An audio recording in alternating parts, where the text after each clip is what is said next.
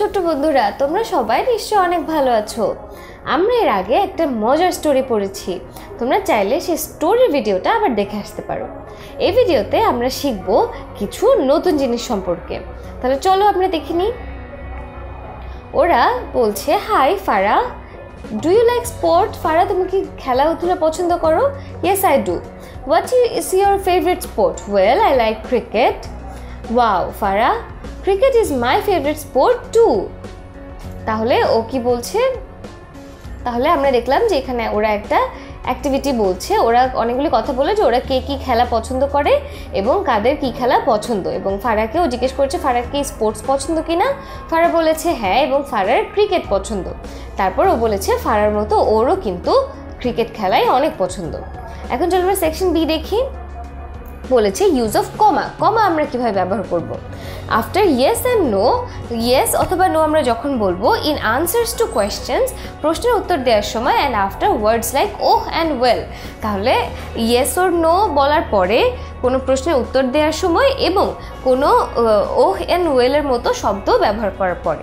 Before the word to at the end of a sentence কোনো একটা sentence শেষ করার সময় টু ওয়ার্ডটা যখন লিখব, তার আগে আমরা কমা দিব। Before and after a name কোনো একটা নামের পরে আমরা কমা দিব, কোনো একটা নামের পরে এবং আগে। Aziz is this pen yours তাহলে দেখো আজিজের পরে আমরা কমা দিয়েছি, একটা নামের পর। তারপর নো ইটস নট না, এটা নয়, তাহলে নো এর পর কমা দিয়েছি। ও আই ডু টু আমিও, তাহলে এখানেও কমা দিয়েছি ও এর পরে এবং টু এর আগে। তাহলে তারপরে চলো আমরা অ্যাডিশনাল অ্যাক্টিভিটি দেখি let's eat Raj. And let's eat Raj তাহলে লেটস ইট রাজ হয়ে গেলে বলে বলে কি, দেখো, আর চলো আমরা রাজকে খেয়ে ফেলি। আর বলছে লেটস ইট কমার রাজ রাজ চলো আমরা খাই। তাহলে দেখেছ, একটা কমার জন্য কত বেশি ডিফারেন্স হয়ে যাচ্ছে? Comma is very important comma খুবই জরুরি। ইট শোজ আ পজ এটা একটা বিরতি দেখায়। Putting it in a different position can change the meaning of the sentence তাহলে কমাটাকে অন্য একটা জায়গায় বসালে, এটার কারণে তোমার সেন্টেন্সের যে অর্থ, সেটাই পাল্টে যাবে। এরপর বলেছে cooking reading playing and food playing football are my favourite hobbies এখানে কী হবে বলো তো cooking reading and playing football are my favourite hobby hobby তাহলে তারপরে দেখো যে কমাটা দিয়েছি আমরা কুকিংয়ের পর ডাজ ইট মেক সেন্স না? তাহলে এখন কিন্তু এটা ঠিক হয়েছে। Let's see one more sentence আরেকটা সেন্টেন্স দেখে চলো। Jamil did you go to school today Jamil, তুমি আজকে স্কুলে গিয়েছিলে? তাহলে ইয়েস আই ডিড হ্যাঁ আমি গিয়েছিলাম। দেখো জামিল আর ইয়েসের পর যে কমা দিয়েছে, এটার কারণে কিন্তু সেন্টেন্স দুইটা প্রপার সেন্টেন্সেস হয়েছে। তারপর notice that use of comma after Jamil and yes তাহলে কমা জামিল এবং ইয়েস এই শব্দ দুটোর পরে কমা দুটো আমরা দেখতে পেলাম।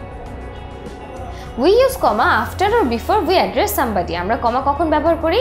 কাউকে আমরা ডাকার আগে বা পরে কমা ব্যবহার করি।